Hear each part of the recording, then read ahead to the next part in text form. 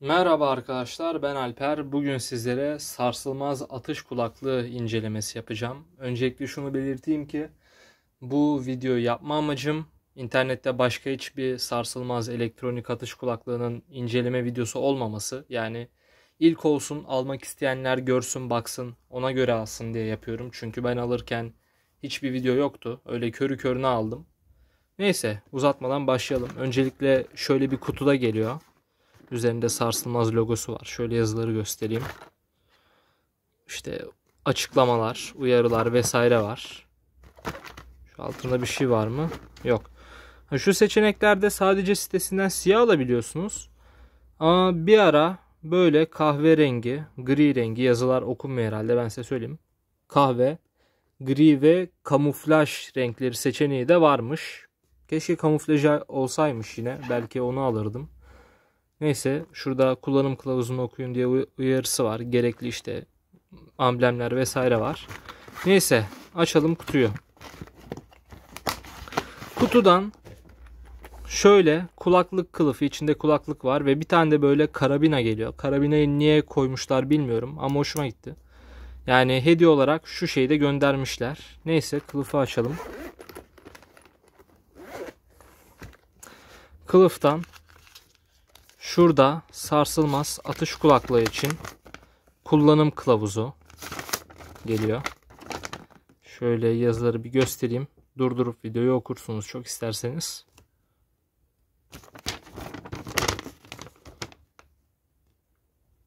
Böyle. Bir tane ara kablo geliyor. İşte telefona, telsize vesaireye takmak için. Ben çok sevmedim ama çalışıyor mu? Çalışıyor. Kalitesi hoşuma gitmedi. Ve şöyle içinde göstereyim kılıfın kutunun ha ve kulaklığın kendisi geliyor. Şöyle katlanmış bir şekilde. Kulaklığı açalım.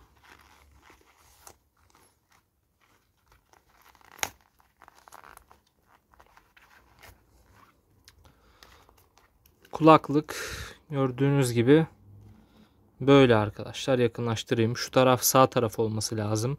Kulaklığı açmak için Şuradaki şeyi yukarıya kadar itiyorsunuz. Ses ayarı bu aynı zamanda. Ona göre sesinizi ayarlıyorsunuz. Bu sağ tarafı ve şurada da pil haznesi var. Burada mıydı? Yok. Pil haznesi soldaymış. Ha. Böyle şurada kablo için giriş var. Umarım sağ solu karıştırmamışımdır. Neyse. Üst kafa bandı böyle. Şuradan kablo geçiyor. Ve şuradan da pil haznesi şöyle tane pille çalışıyor. Pillerin boyutunu bilmiyorum. 2A mı 3A mı sitesinde yazar.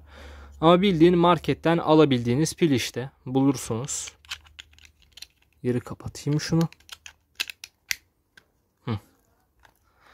Kulaklığın kendisi böyle. Şuradan ayar yerleri var. Kafanıza göre, boyutuna göre ayarlayabiliyorsunuz. Aynı şekilde buradan da. Ve böyle. Bu kulaklığı diğer elektronik olmayan atış kulaklıklarından ayıran, ayıran en büyük özellik hem yüksek silah sesi gibi sesleri azaltması hem de düşük sesteki konuşma, ayağınızdaki işte ayağınızın yere vurması, adım seslerinizi de aynı zamanda yükseltebilmesi. Bu kulaklığı takıp e, kendi kafanıza göre ayarladığınız zaman size uygun bir şekilde yanınızda insanlarla beraber başkalarıyla atış yaparken sanki kulaklık ta- takmıyormuş gibi hissediyorsunuz. Bayağı konuşmalarını çok net duyabiliyorsunuz. Onlar da sizi anlayabiliyor bu sayede. Hani bağıra çağıra konuşmak zorunda kalmıyorsunuz siz kendinizi duyamadığınız için.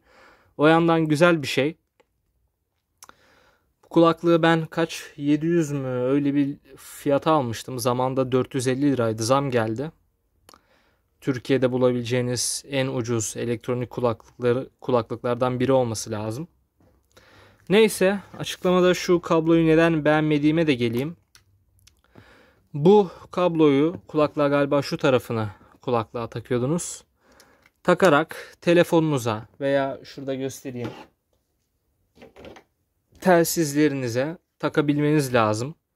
Ben bunu telefona takıp müzik dinledim gayet yani çalışıyordu. Müzik dinleyebiliyordum fakat kalitesi kötüydü. Yani müziğin kalitesi çok iyi değildi. Ama neyse bu büyük bir sorun değil. Çünkü bu kulaklığın amacı zaten müzik dinleme kulaklığı değil. Neyse telsize takayım dedim. Telsize taktığımda sorun yaşadım. Bir şekilde konuşamadım. Yani şöyle bir sorun oldu. Bakayım bu sefer de olacak mı? Belki olur gösterelim. Ha. Telsizi taktığım anda ben konuşma tuşuna basmasam bile böyle konuşuyormuş gibi algılıyor. Sanki mandala basıyormuşum gibi. Kabloyu çıkardım. Sorun çözüldü. Şöyle daha yakından göstereyim. Şu anda hiçbir mandala basmıyorum. Konuşma yok. Kabloyu geri takıyorum. Ha bu sefer ha. Ve böyle sanki mandala basıyormuşum gibi oluyor kendiliğinden. Bu niye oluyor bilmiyorum. Belki benim kabloda bir sorun vardır. Belki de adaptör gerekiyordur. Neyse yani ben bunu telsizlerde kullanamıyorum. Yani telsizle kullanmak için alıyorsanız bilginizde olsun. Yani çok iyi çalışmıyor. Ama onun dışında atış yaparken kullandım. Gayet güzeldi. Sesi azaltıyordu silah sesini yine. Kulağım ağrımıyordu, sağır kalmıyordum ve etrafımdaki insanları duyabiliyordum. Böyle. Bu kadar başka diyeceğim bir şey yok. Ha bu arada miğferlerle beraber bu kulaklığı çok rahat kullanamayabilirsiniz. Çünkü profili o kadar küçük değil. Ee, aynı zamanda şapkayla falan kullanırken de. Ama ne bileyim belki yan kulakları kesik, içindeki pedleri sökebildiğiniz bir miğferiniz varsa genellikle airsoftçular kullanıyor. Onunla herhalde bunu kullanabilirsiniz. Ben denemedim ama oluyor olabilir. Bendeki gerçek balistik miğferlerle olmuyor eski tip miğferlerle. Bunu da bilin. Böyle tekrardan kulaklığı katlayayım. Şöyle katlanıyor. Şöyle kutusuna konuluyor. Şurada kablosu var. Şunu şöyle tıkıyorum ben. Ve kullanım kılavuzu.